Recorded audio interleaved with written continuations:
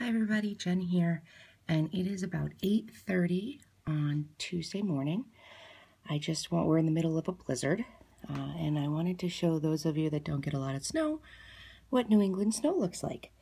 So I'm looking out my window here, um, and all you can kind of see is white, and I'm going to open my door and show you. I'm going to, I have a measurer. I have a homemade uh, cork, foam cork board that I use to measure snow, and about last night, I'll show it to you. I'm trying to not make anybody sick. Last night at about midnight, 1 a.m., we were about four and a half inches of snow. So this goes up to 30 inches.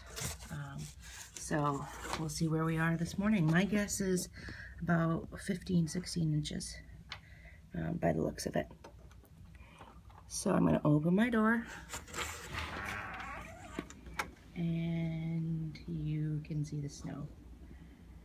It's just piled up. So this is my front stoop. I will give you a little pan.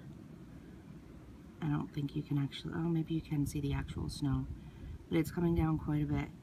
So I am going to stick my measurer into the snow on my front stoop and see where we are. That's not accurate. It's blowing it's saying only about seven inches of snow, which I know is not true. Um, so I'm going to, I'm going to have to go in the back where there's not as many drifts and it's not blowing as badly. So I will measure and I will let you guys know how much there is because there's much more than seven inches out here. All right, take care guys, bye.